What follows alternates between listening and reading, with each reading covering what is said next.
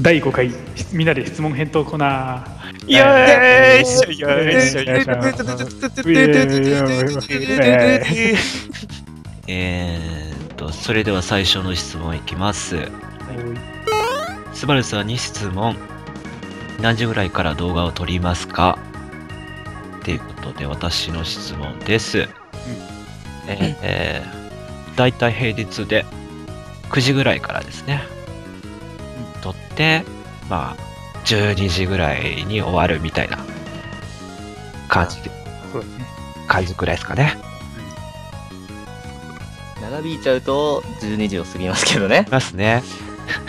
最近ちょっと遅いけどね。あんまり12時過ぎるとねスバルさんのテンションもねそうそう。あの、こそこそスバルに変わっちゃうんですよ。12時だと。チームのプレーも落ちてくるからな。落ちてくるね。もう、9時から12時ぐらいが本当にリミッター、リミッターが、制御かかってる状態で、12時超えたらもうリミッターが外れてリミットブレイクしちゃうから、いつも。で、その次になっちゃうぐらいで、で、秋らしいみたいなああ、そうですね。感じですよね。だいたい今の時期だと寒さにやられるんです。12時を超えると。そうですよね。たまにピーピーってこうヒーターの音聞こえる。まあ、そんな感じでしょうか。カラータイマーが発動します。うん、そうだね。呼んでんでっていうもない。そんなやりとりがあるんだうんそうそう。そう、リミッターがかかってる。じゃあ次行きます。はい。はい。えーっと、皆さんに質問です。ぶっちゃけ賢いんですか？かす、賢い。賢いって、何ですかね？賢い、なん、賢いか。賢くはないよね。うん 賢いんですかって聞かれたら絶対賢くはないって言っちゃう。うん、そうですね。いろんな雑学的なもんも含めてなんだろうねかないろんな知識をうんどういうことを賢いっていうのかがまず賢くないから分かんないです。うーん。本当だね。まあ、とりあえず全部ひっくるめてみんなは賢くないっていうことで、ぶっちゃけ賢くない。ぶっちゃけ賢くないね。い。うーん。次行ってみよう。もう次行こうか。じゃあ、皆さんに質問です。うん3人の中で一番絵がうまいのは誰ですか？あと自分の似顔絵を描いて見せてくださいって。あ あ、画力を。画力ね。画力か。どうだろうね。すすばれはね、あの、以前に絵描いたことあるんでね、その絵で良ければ多分今、すごい絵が今、2つぐらいポンってあると思うんです。す、す、すばる科学をちょっと見てもらって、多分、アキラさんが一番うまいんじゃないかな。俺もそう思います。俺は、うんあの、模写するぐらいが、しかできないから。っあでも似顔絵、似顔絵やもんね。てなると、ダメだろ、これは。絵あ。か似。顔絵。描いたことあるけど、描いたことあるけど、もう小学生の時代ですからね、描いたことあるの。うん。うん。なかなか大きくなって自分の顔描いてみようなんて。お前、確かまあ確かに。に、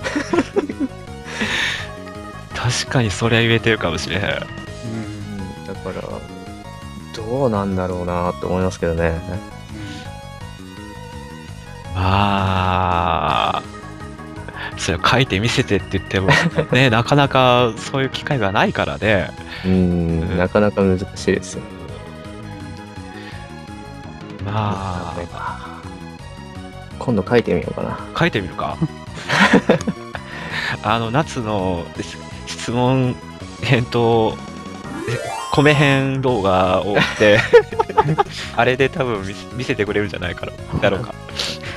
まあ、おいおい機会があればおー描いてみますよ。多分3倍、4倍ぐらい持って描いてると思いますけど。あれあれやろ？あれ、なんか、何？アプアプリで書いた？なんか、あれは。あー、あの、あれですか？返答の、うんですか？うん。あれそうです。あの、パソコンで、あの、自分で適当に書いたやつ。適当すぎるよ、な頑張って書いてたんですけど、どうしても、あの手がね、追っついてくれなかったの で、確かに確かにわかる。これでいいやと思って。もう今度から写真入れたらいいんじゃないの なんか、パチって撮った写真でいいんじゃないまあ、考えてね。そのうち似顔絵になってるかもしれない。似顔絵になってるかもしれないね。じゃあ、次行きましょうか。はい。えーと、スバルさんに質問です。実況動画をやるときに気をつけていることは何ですか？スバルさんに触発されてうん実況動画をやりたいと思ってしまいました。っていうことです。やるときにバルさん的なアドアドバイスを。アドバイス。あー、なんでしょうね。もう楽しんで、ゲームをやるってことでしょうかね。まあ確かに、実況者本人が楽しまなきゃね、うん。楽しませるそうだよ。たまにね、やっぱり文句、すごい本音で文句言ってる人とかさ、なんか、ガチで言ってる人とかいるけどさ、うん。そういう人とかもか、こう、な、どう言ったらいいんだろう。なんか、こう見てる人のことを考えて、うんうん、視聴者さんのことを考えながら、なんか、なんかすごい、言えてないで、今日 い、口がパサパサやから。視聴者さん、視聴者パサなのうるさい。うるさい、やめろ。ミュージさんって言ってるやつかってね。ちょっと、街のホットステーション、了承。あ、言う。言ってない。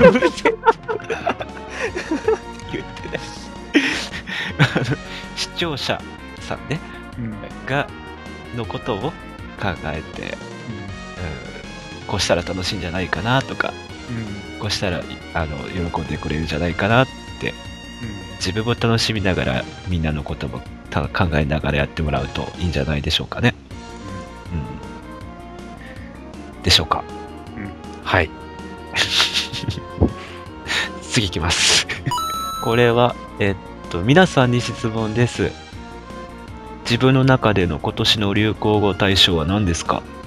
ってことです。今年だからもうこれは去年になるかうん。ら去年のこと。だね、去年の中での流行語大賞、えー、なんだろうな。自分の中でやろう。自分の中で。自分の中で？何言ってたかな？流行語大賞。これ動画、動画とかそういう実況動画のことを含めて言ってるのか、それとまあも、全体的でもいい全体的で世界的でもいいんじゃない？そうそうそう、それとなんかはちょっと、あるけど、頼むで何がですか？的な。まあそれはね、なんかすごい一時期流行っちゃったよね。一世風靡しましたね。一世風靡しちゃったね。これでいいじゃないかな。そうだね、流行語大賞か。なんだろうな何って聞かれたらなかなか出てこうへんな。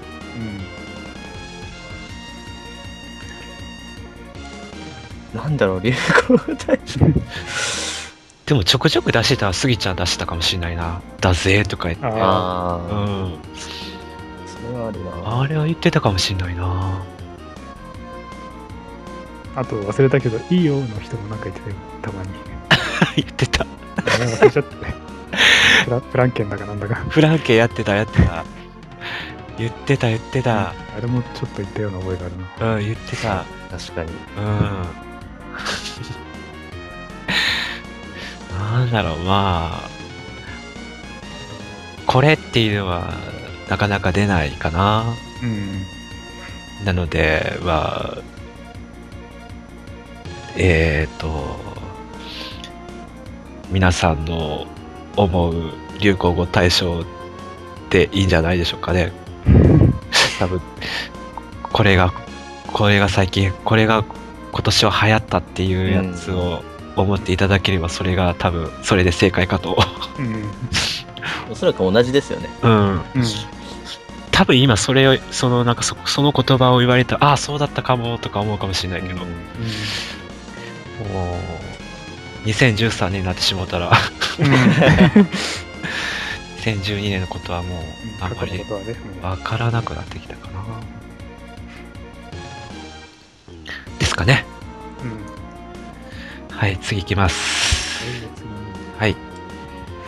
えー、っと、皆さんに質問です。好きなスポーツありますか？あと、学生の時の部活って何ですか？自分はサッカー部とバドミントン部でしたっておいう質問です。あ好きなスポーツか。そっか。なっちゃんは何してたの？部あ、活こ。れですか？俺は、中学校の頃は、えっ、と、1年半ぐらい野球でした。えー、マジで？はい、野球部でした。えだけど、その野球部は、あの、小学校からこう、なんですか、少年野球からー。うん。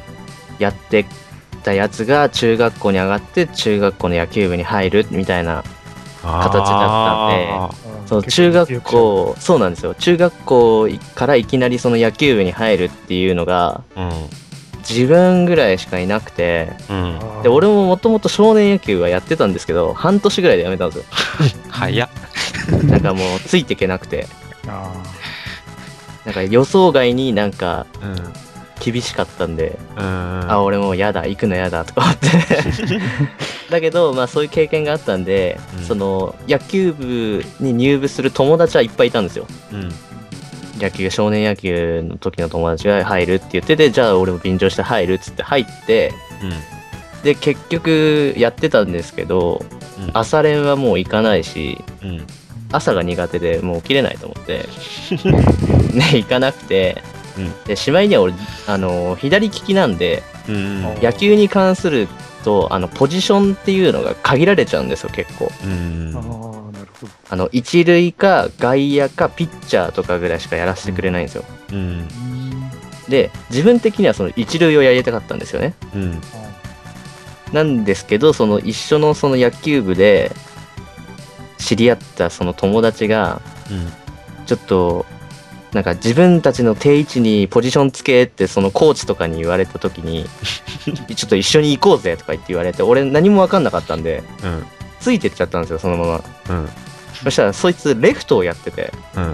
で、俺もそのままレフトに定着しちゃったんですよ。うん。で、そっからファーストができなくなっちゃって、うん。あ、俺もうやりたいことが違うとか思って、それで、もう練習全然行かなくなって、うん。で、なんかしまいにはどんどん周りが坊主にし始めたんですあ な、あるね、あそれそうなんでうんす、そうなんですよね。坊主にしなきゃいけないみたいな。あれ、あれなんなんだろうね、あの坊主は、本当本当わかんないです。あの、本当に多分帽子が取れないようにするとか、あその清潔感とか多分あるんだと思いますけど、ー、その、やっぱ周りが結構そうやって坊主坊主ってなってって、うん。で、なんか、なんていうんですかね、その、俺はもう坊主がいい。をその人生で一回もしたことなかったし、うん。うん坊主にすることに対してちょっと拒否反応が出てたんで、うん。いや、これできないだろうと思って、俺ほんと中学校の時超ロン毛だったんですよ。マジで言ってんの？はい。えあの、前髪とかも口の下まであるぐらいの、いや、本当なんですよ、本当に。でその前髪が全体を覆ってる形なんで、本当センター分けにしてて気持ち悪い人みたいな。それでデブだったんで、もう本当中学校に関しては黒歴史なんですけど、触れてはいけないんだな。そうなんですうよ。ん。だから、そうですね、そんな感じで結局だから2年生に上がって、夏休み前にはもう辞めちゃいましたね、あ部活は。ーでもそれ以外、それ以外はねもう何もやってないと。そうですね、もうそれからはもう部活なんて嫌だっつって、コリゴリだっつって帰宅部でやって、なるほど。はい、野球部で帰宅部と。そうですね。なるほど。野球部、帰宅部、デブでしたね。あー なんで部でつなげるか？うまい。うまいね。座布団、座布団結構もらえる今の。えー、話長かったな。すげえな。いきさつが長いわ。じゃあそれしか言わないと。そうだね。じゃあ、秋らしごか？次。俺つ、俺も中学時代はあの野球部だったね。おお、えー、マジで？言ってずんのずーっと補欠だったけど、え 確かライトあたりにいたような覚えがあるけど、ああ、逆だ。ー まあ中学時代から結構、でかかったからね。えー、野球野球部の集合写真見ると、うんこれ、これなんかコーチっぽくねみたいな。中学生っていうところが老けてるって感じなのかな。あー、なんかずば抜けて、大人びちゃってるって感じ。実際今の中学の写真見ると今とあんま変わんないかもしれないぐらい、マジで言ってんの？多分、そんな変わりないと思うんだよね。かほなら、まあ、ずっと補欠で終わったけどね。ほんならあれなんや、野球の知識は持ってるんだ、あきらち。ないと言っていいよ。で、まあ、中学はまあそれで終わって、高校でうん。テニス部に入ったね。うーん。公式で。テニス部？まあ、それ1年間くらいなんだけどね。軟 結構こっちの方は性に合ってたんだけどね。柔らかいボールですよ。軟式の方が柔らかいのかな？公式の方はあの緑緑色の、まあ、ちょっと固めの。そうそうそう。あの、あれやろ？あの、ポーンってこう、こはいうふにゃふにゃって立ってさやんな。柔らかいやつって。そうです。まあ、あの白白白っぽくてふにゃふにゃそうそうそう、ふにゃふにゃのやつやんな。カホンカホンっていうやつ。まあ、公式テニス部の隣に軟式テニス部あったけど、もう人数の違いがあったね。あー。少なかった。あ俺と中学時代の友達と2人と、あともう2人いたぐらいか。4人か。あれね、コート鳴らすのが大変なんだよね。あの、ローラーっていうの？あれ引くの。あ。あ、ああ、ああ、あそっか。うん。まあ、やっぱ団体、スポー。ツに、なんだ、団体競技っていうのか。うんあ、スポか。うん。そういうのに比べて、やっぱ、ちょっと個人的なあれだからね、結構そっちの方が得意だったね。ああ、それは確かにそうなんだ。野球とかサッカーって、自分のミスで仲間のせ、なんだ、そうですね。連帯責任っていうか、でプレッシャーに勝てなくてね、俺。んそういうの、ああ、それあったな。そういうのがちょっとダメだよね。うん。まあ、テニス部もね、まあ、結局は勝てなかったけど、なんか、顧問の先生もいなくなったから、うん。なんかもう、いつの間にかみんな終わっちゃってたな。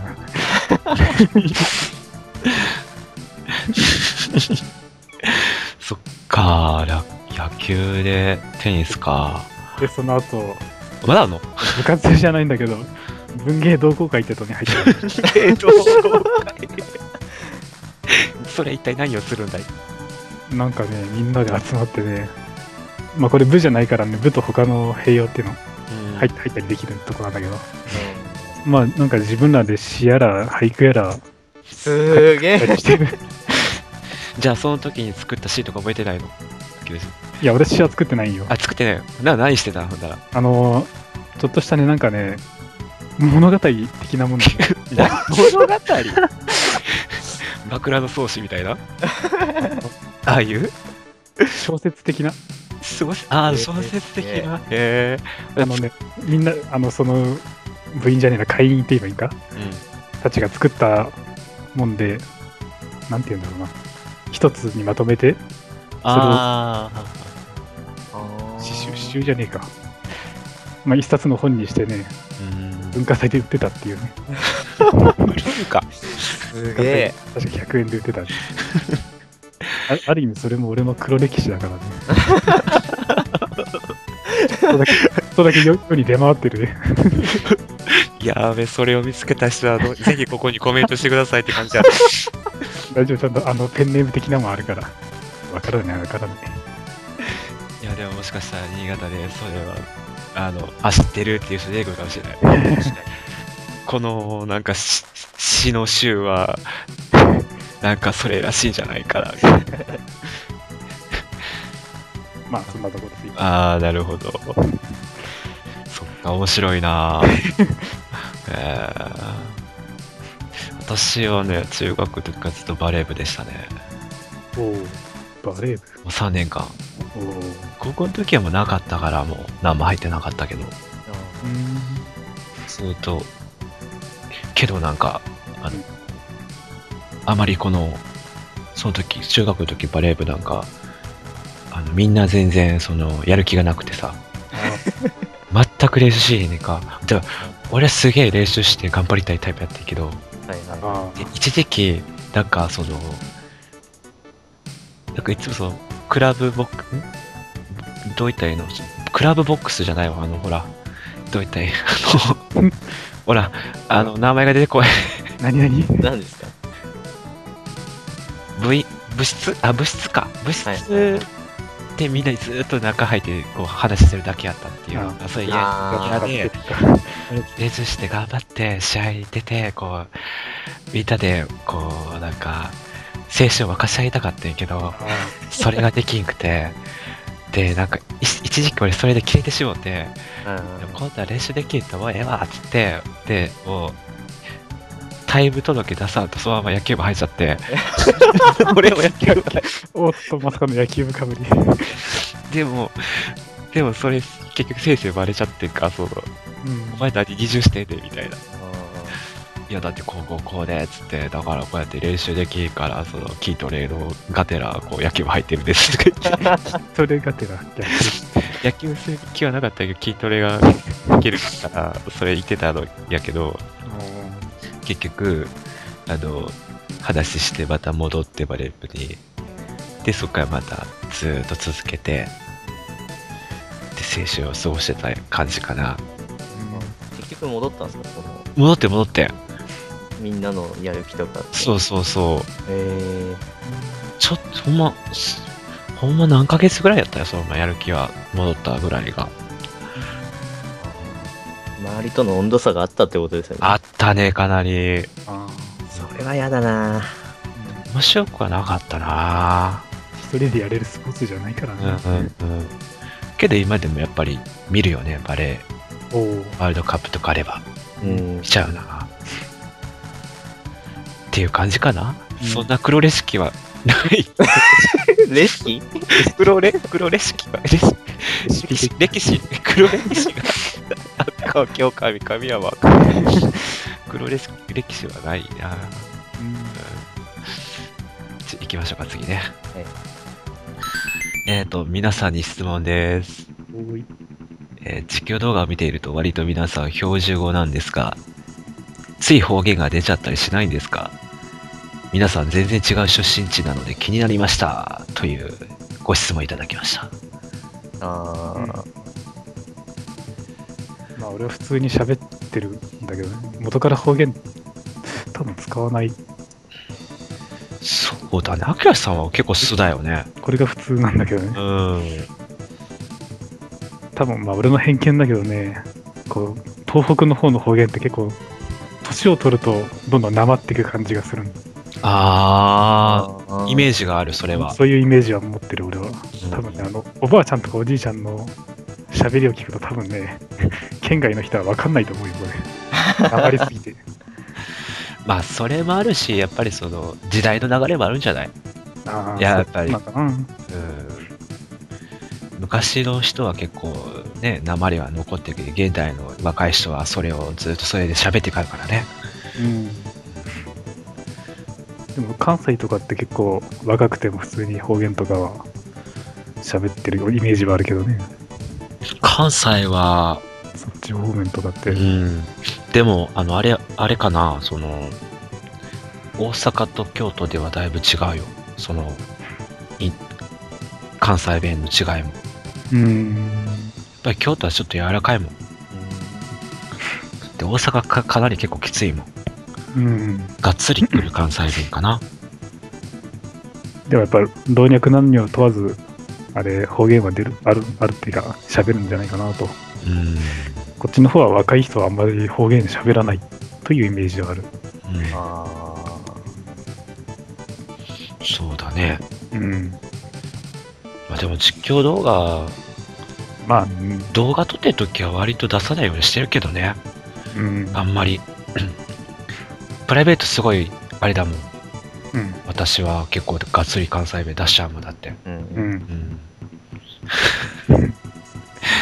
ちゃ出てる出ちゃうよね。うんまあなっちゃん標準語だよね。うん。もまあ標準語ですけど、その標準語すぎて、う。うん。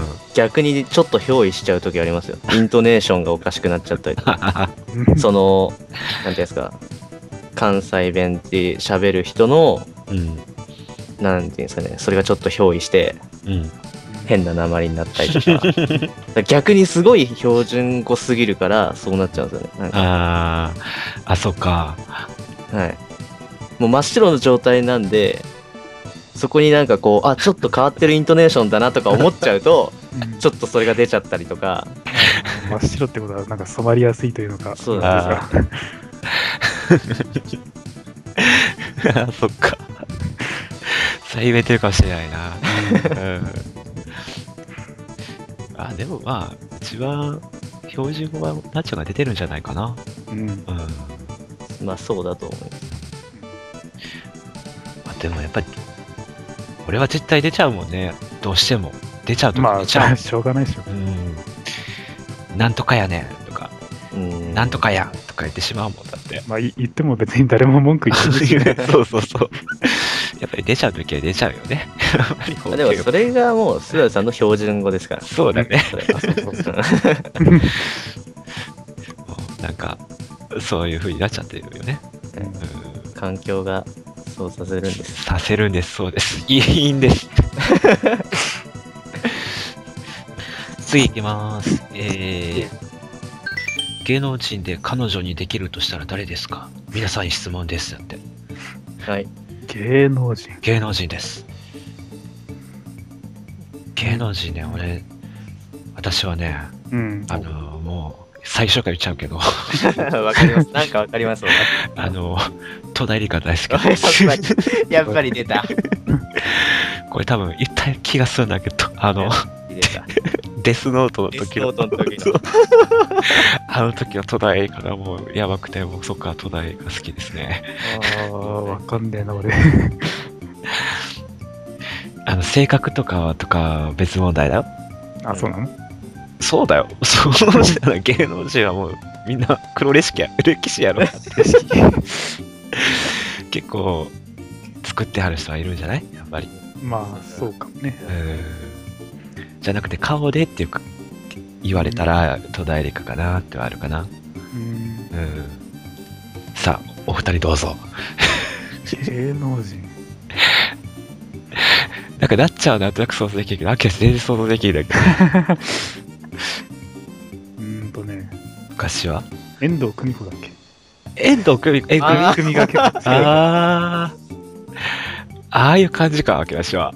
結構ね、まあ、マナカナとかもそうなんだけど、あのああいう笑顔がね、俺は結構好きだったりするね。ああ、笑顔か。笑顔は。ああまあ、そんな感じ。笑顔か。いい笑顔するなっていうのがあったかな。じゃあ、なっちゃうわ。そう私ですか。うん。えー、まあ芸能人、うん、なんだろうな。難しいですけど、芸能人、えーっと、最近は、えーっと、芸能人ならいいんですよね。うん、芸能人。うん。もしあみんな、みんなが知ってる人やったらいいんじゃない？あ、多分、わかんない人もいっぱいいますよ。あ、まうんうん。何何何何？あ多分、わかんない人は、じゃあググググってもらって、うんうんうん。あのー、4ミニッツっていう、あのー韓国の女性、えっ、と、4人グループか5人か忘れましたけど、まあ、グループのうん。いるんですけど、その中の、うん。あの、キム・ヒョナっていう、キムヨな。